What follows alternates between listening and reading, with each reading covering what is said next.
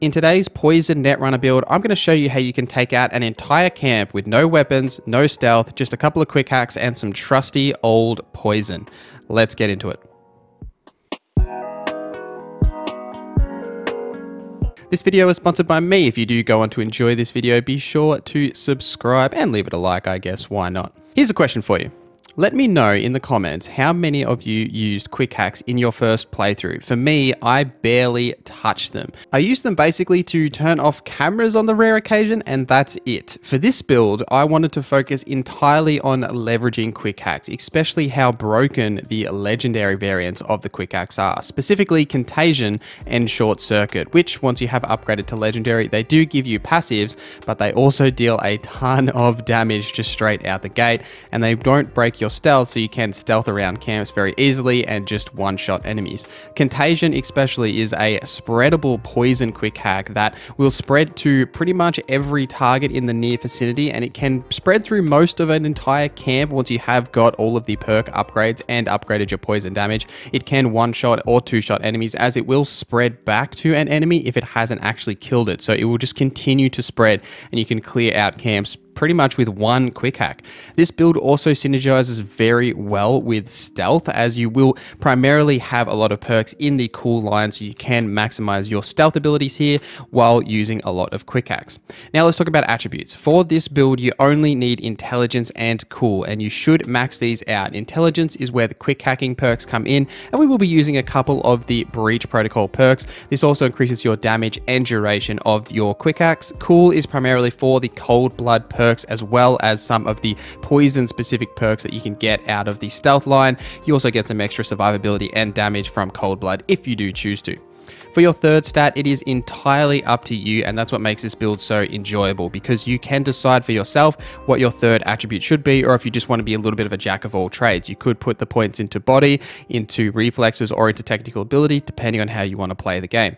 Your starting attributes for this build should be intelligence 6, cool 6, and I went with body 4 just for a little bit of extra health in the early stages of the game. Now let's break down some perks. The first couple of perks you should get are in the breach protocol line, one of them being mass vulnerability vulnerability, which unlocks mass vulnerability daemon when you are using breach protocol, which reduces the physical resistances for all enemies in the network by 30% for three minutes.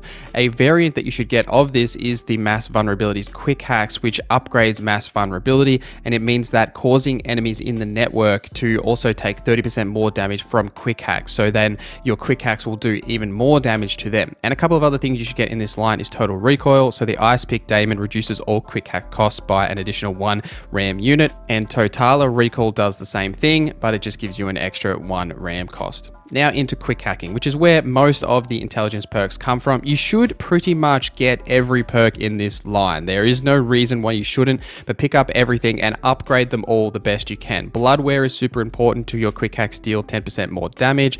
Diffusion, so your quick hack spread distance is increased by two times. And Plague, so quick hacks that spread can jump to one additional enemy and max this out so you get extra enemies on top of this. Subliminal messaging, so quick hacks deal 50% more damage to unaware targets is also important as we are going to be in stealth most of the time, so you get a little bit of extra damage there. Critical error, so that quick hacks can deal critical hits based on your crit chance and crit damage. The last couple that you need, which will make your quick hacks super valuable, especially once you get the legendary variants, is the crafting perks for quick hacks. Now, these don't require you to have technical ability or any of the crafting skill line. You just need these perks, and they are in the quick hacking skill. Hacker's Manual, Hacker's Overload, School of Hard Hacks, and Bartmoss Legacy are the perks that will allow you to do the crafting of the quick hack so that you can get the higher level variants. All you really need is to buy the quick hack from a vendor. Then once you have the crafting materials, you can upgrade it to the legendary variant yourself. Everything else in the quick hacking line you should pick up. It is up to you, but I would highly suggest to maximize everything in this line as it does make a huge difference for your quick hacking potential.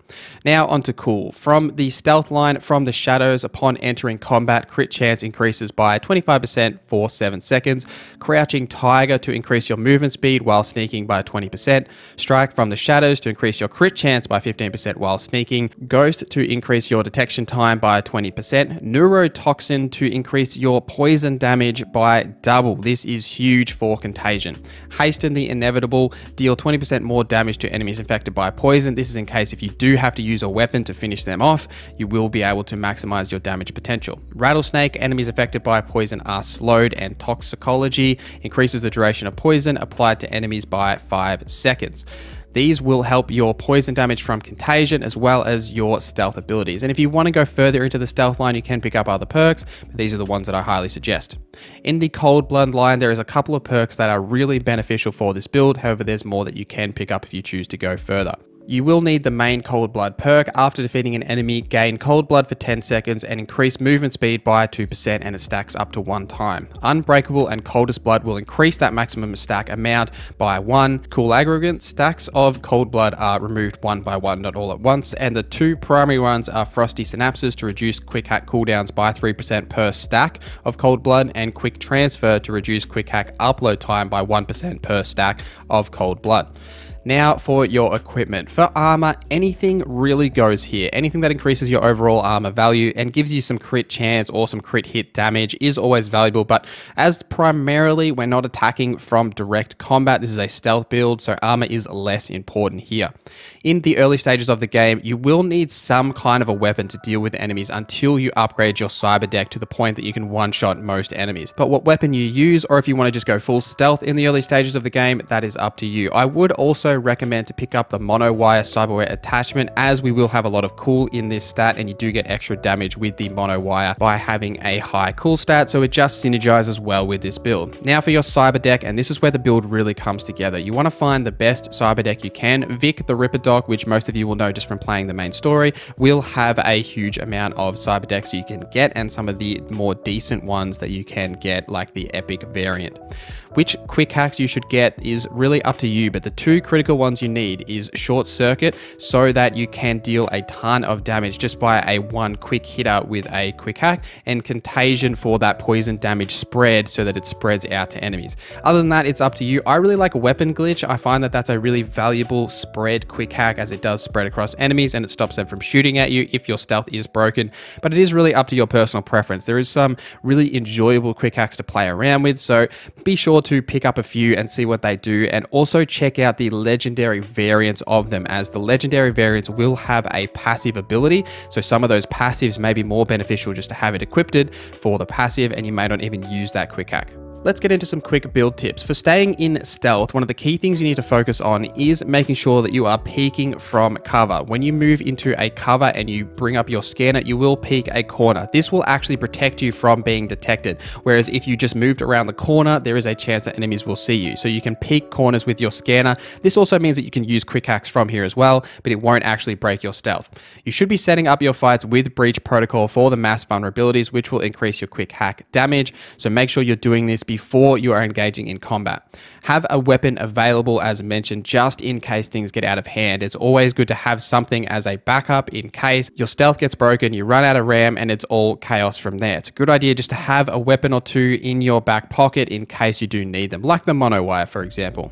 And a good benefit here is just honestly staying in stealth to avoid unnecessary fire.